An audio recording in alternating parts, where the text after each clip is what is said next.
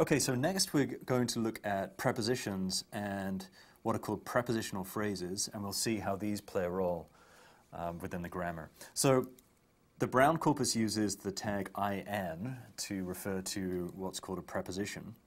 And a preposition is um, a word such as of, or in, or out, or beside, or as. A preposition can usually go in front of a noun phrase. So I can say, for example, of the man. This would be a prepositional phrase. Or in the room would be another prepositional phrase. Okay. So given the idea of prepositions, let's see how we can incorporate these in the grammar. And what I've shown you here is uh, the same grammar I had on the previous slide, except I'm going to add a couple of rules. So firstly, I'm going to have a rule that says a PP, this is a prepositional phrase, can be formed from an IN followed by a noun phrase. And I have various rules specifying that an IN, a preposition, can be words such as in or under or of or on or with or as and so on. There are probably roughly, I think, 100 prepositions in English. That's a rough order of magnitude. So that's the first rule, saying a, a, prepositional phrase can be formed by a preposition followed by a noun phrase. So for example, I can have a prepositional phrase uh, such as the follow, following. Uh, so in NP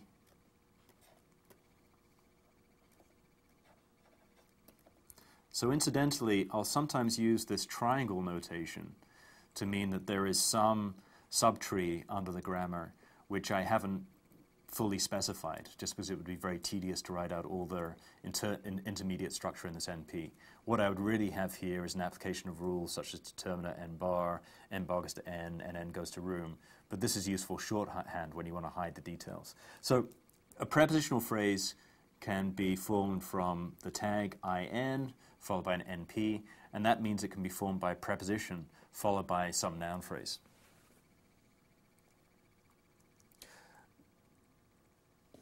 So let's go a little bit further with these rules and see how we can use them. So um, we take, uh, again, we can create a prepositional phrase from an IN followed by an NP.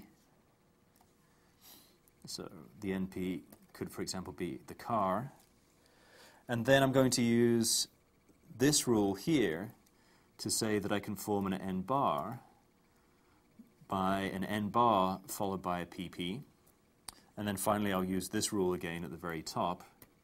np goes to determiner n bar. And so I can have something like the dog in the car, okay? So what's going on here um, now I have some noun, dog, and actually I have a post modifier to this noun.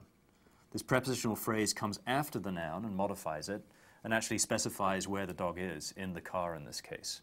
And so this rule, n bar goes to n bar pp, says that I can take a noun, take a prepositional phrase, and use the prepositional phrase as a post modifier to um, this particular n bar. And so I get this full noun phrase now. So the noun phrase is this full sequence of words, the dog in the car.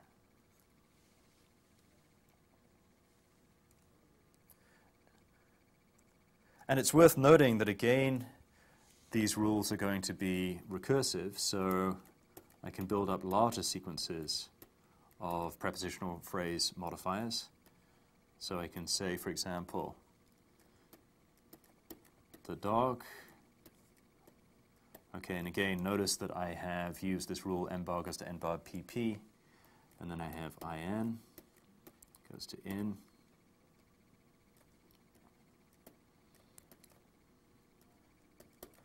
This time I am actually going to specify the internal structure of this noun phrase. Um, so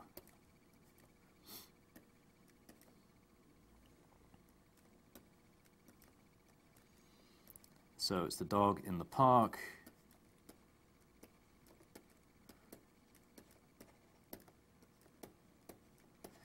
In the city. Oops, the city, sorry. So this the city is this noun phrase. Again, I've used this triangle notation to hide the full structure under here. So what do I have? I have an entire noun phrase, which is the dog in the park in the city. And notice that I've now recursively applied this prepositional phrase. So I have park in the city as an n bar here. I've used there to create, uh, to um, I put there in front of this n bar to form a noun phrase. And then I have the second prepositional phrase in the park in the city and that itself modifies dog. And you can see how you can get entire chains of prepositional phrases mo uh, modifying each other in, in the way I've just shown.